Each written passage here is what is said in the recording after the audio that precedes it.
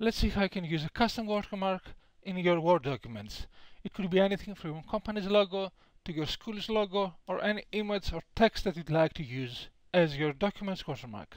Now from the page layout tab, the page background section, click on watermark. As you can see here right out of the box you have a number of options, confidential, do not copy, draft sample, ASAP urgent. Let's try this one. As you can see it's quite easy to insert one of the ready watermarks. Let's remove this from here, watermark, remove watermark. And let's see how I can use a custom watermark in our document. As you can see here, click on watermark, custom watermark.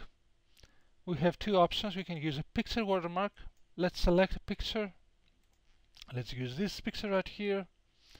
You can set the scale and you can check the option here whether you'd like your picture watermark to appear washed out or not. Let's see the effect in action. This is washed out. This is with the washout option unchecked. And you can set the scale from 50% right up to 500% or auto. Let's select 500% and as you can see here our watermark covers our entire page. So this is how I can use a picture watermark.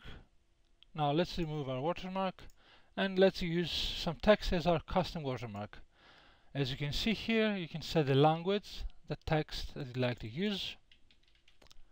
This is a custom watermark. You can change the font. Let's use Cambria. The size from auto to 36 points right up to 144 whether you'd like your watermark to appear semi-transparent or not see the difference here. And you can also change the color green or any other color you'd like to use.